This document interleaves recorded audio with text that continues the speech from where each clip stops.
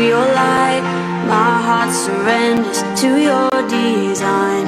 You gave me purpose, so I give my life. I'm giving you all of me.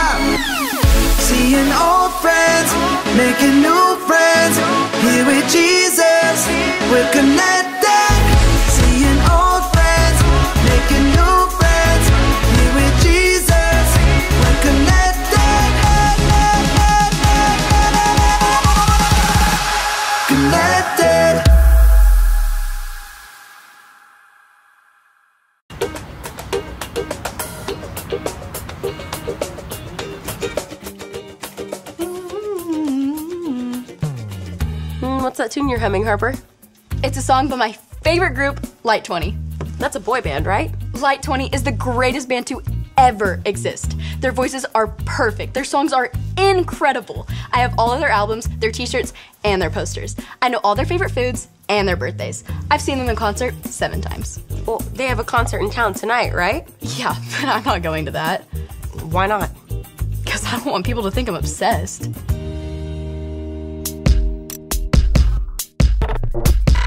We are Connect HQ. Every day we help the people of the world. Live God's way. We look for the links. Make the connection. And you never know what might happen.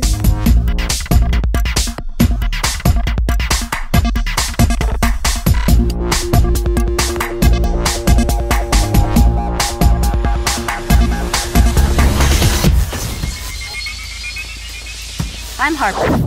This is the time Connect HQ needed a reminder of who is number one. I just finished my third connection transmission today. I am exhausted. I know how you feel. I've been working all morning on backing up our files. I'm just finishing up now. Kat's been working on the work schedule all week. Finished. Whew. Ah, is it just me? Does anybody else need a break? And you all deserve one. Captain Alyssa, I'm happy to report that I just finished revising all of the work schedules. Great job, Kat. Keep up the good work. Thank you. I know how hard you've all been working, and I want to show you just how much I appreciate all the hard work you do. That's not necessary, Captain Alyssa. We all love the work we do. I know you do, but Mike's right.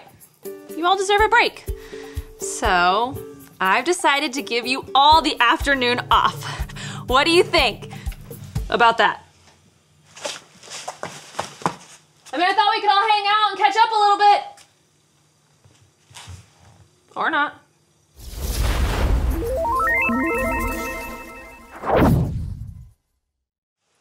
Hey, Harper. You enjoying your afternoon off? Definitely. It's so nice to have a little free time.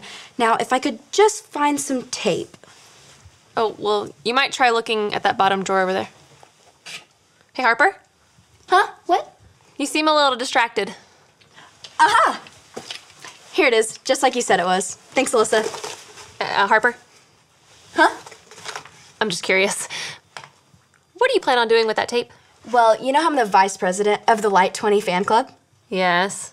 What kind of vice president would I be if I didn't have the perfect place to listen to all of their music? I I don't know the answer to that question. Well, not a very good one, of course. That's why I'm gonna make the perfect sound studio in the observatory to listen to all of the Light 20 albums, and the tape is to hang up their posters. Okay, I, I don't actually think that's a very good idea. Well, I asked Maurice, and he said that it shouldn't damage the observatory walls. That's not really what I was talking about. Oh, Melissa, I need your help. Okay.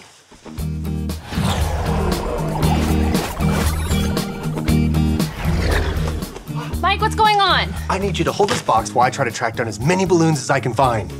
Also, grab any that you see. I'm aiming for about a thousand, but I'll make do with whatever I find. Why do you need a thousand balloons? For a water balloon fight, duh! It's gonna be epic. All the kids in the neighborhood are playing. Two teams enter. One team gets really wet. that like so much fun! It is, and it's only the first on my list of fun things I'm gonna do today. Uh, I'm thinking about some trampoline stunts, seeing how many video games I can play at once. Ah, well, that seems like a good start. Thanks, Alyssa. Sure thing. And if you decide you want some snacks, feel free to join me later in the lounge. Okay, cool. Maybe I will after I'm done with all my other stuff.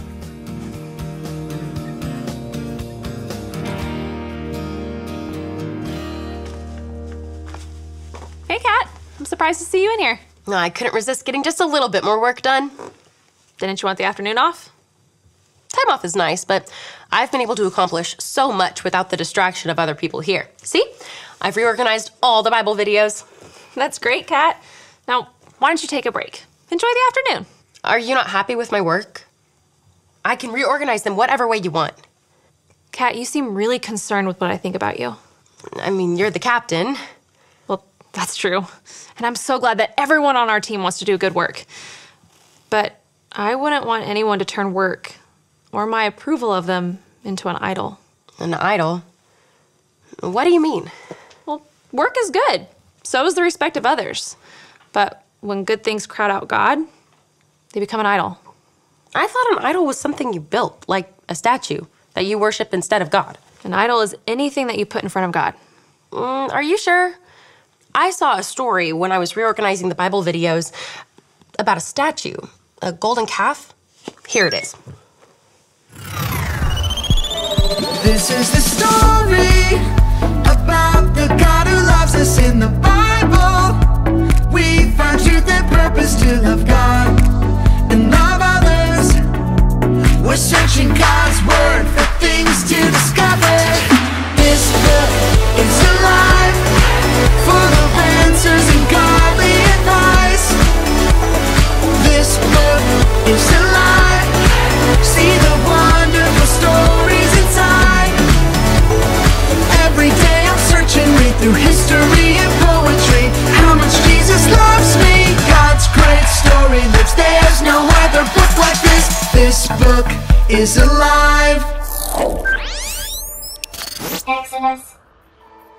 After God brought the Israelites out of Egypt, God invited Moses to join him on top of a nearby mountain so they could talk. So Moses left and went to talk to God. The Israelites waited and waited until they felt like they had waited long enough. They found Moses' brother Aaron and said they were tired of waiting for Moses, and they were tired of waiting for God. They told Aaron to make them new gods. So Aaron asked them to take off their gold jewelry and give it to him. Aaron melted down the gold and made a golden idol that looked like a calf. Aaron presented the idol to the Israelites and told them to worship it instead of God.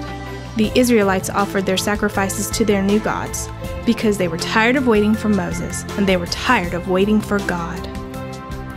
Meanwhile, up on the mountain, the Lord was giving instructions on how to live. But he knew what was happening down below. God told Moses, Go down to the Israelites. They have forgotten that I brought them out of Egypt. They are worshipping an idol made in the shape of a calf. The Lord was angry and wanted to punish the Israelites, but Moses stood up for them. Please, don't be angry. They are making a bad choice. Let me talk to them. So the Lord sent Moses down the mountain with all of the instructions they had talked about written on two stone tablets. When Moses saw them worshiping the idol, he was so angry he threw down the stone tablets and found his brother Aaron. Aaron, why did you make this idol for these people to worship? Aaron told him that they were tired of waiting for Moses, and they were tired of waiting for God, so they made their own gods. Moses took the calf idol that Aaron had made and melted it in a fire. Then he reminded the Israelites It wasn't a calf that brought you out of Egypt, it was God. He is the only one that deserves your worship. Moses went back to the mountaintop to ask God to forgive them for their foolish worship. It's strange to me that the Israelites built an idol. They forgot about God so easily. Well, we might not all go around building golden calves, but I think we can all think of a time when we forgot to put God first. Well, if that's all an idol is, I think I did that when I wanted to be praised for my work. Your compliments and what you thought of my work seemed more important than what God thought. It's important for us to remember that God wants what's best for us, and He is what's best for us. Worshipping God brings us closer to Him, it connects us to Him, and helps us love like He loves. Anytime we worship something else, that's an idol. And that idol can get in the way of us worshiping God the way He deserves. Thanks for walking me through all this, Captain Alyssa. Of course, Kat. Wait, does somebody have a pogo stick? I don't think so. Ah, it's fine. I'll just use my unicycle to jump on the trampoline. Today is so much fun!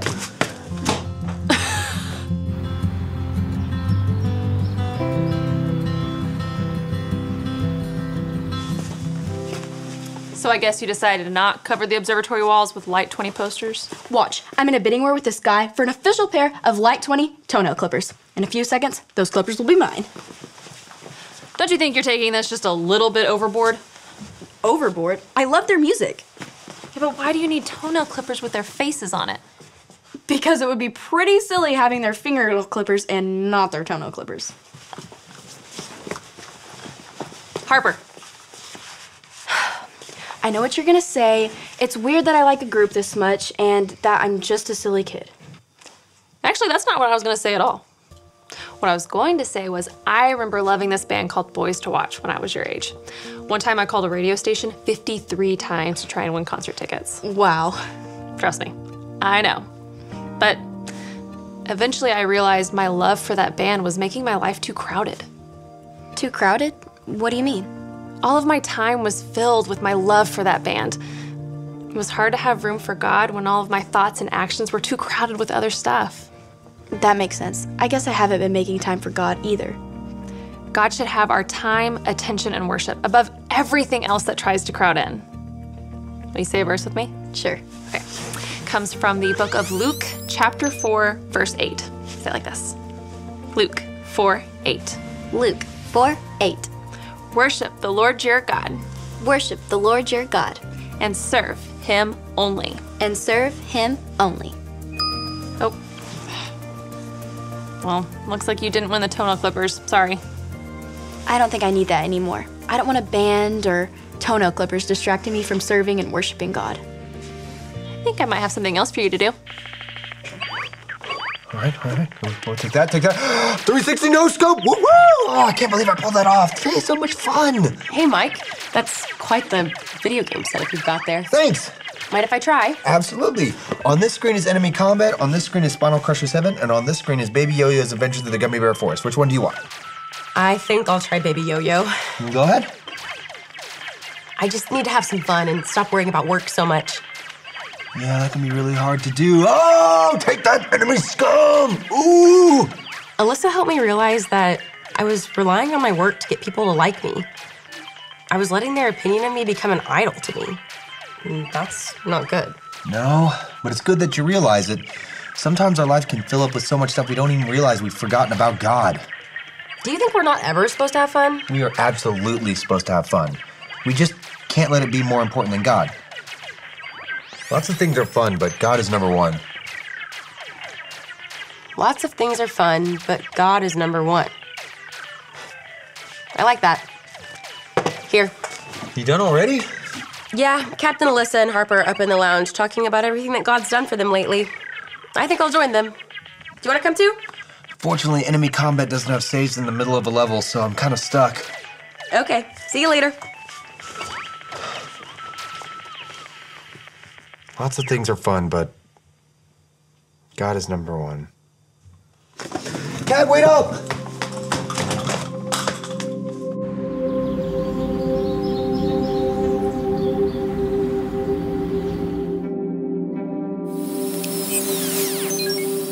I'm Harper, and I'm part of Connect HQ. I have a great verse I'd like to share with you. Say it with me like this Luke 4 8. Worship the Lord your God and serve him only. When we worship anything or anyone other than God, we call that thing an idol. While Moses was in the mountains learning from God, the Israelites had forgotten all about their Creator. They had Aaron build them a golden statue of a calf, and they worshiped this idol instead of God. Idols aren't just statues. Idols can be anything that crowds our lives and makes us forget about worshiping and serving God. Good things like TV, music, games, sports, and hanging out with friends can be idols if they become more important to us than God. Ask yourself how do you spend your time? What do you talk about the most? Are you using your talents to make yourself look good or honor God? Work on getting rid of anything that distracts you. At the end of the day, lots of things are fun, but God is number one. And remember, Connect HQ is here to help you.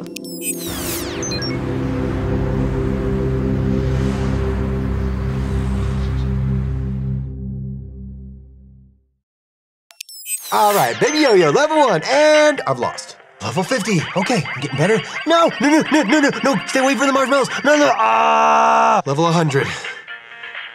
Okay. Jump, Jump, jump, jump, jump, jump. The levels keep going, Baby Yo-Yo. I thought there would be an end. Oh, I beat it. Yay, Baby Yo-Yo. Things like video games, music, and achievements can be good as long as they're not the most important thing. We need to put God first.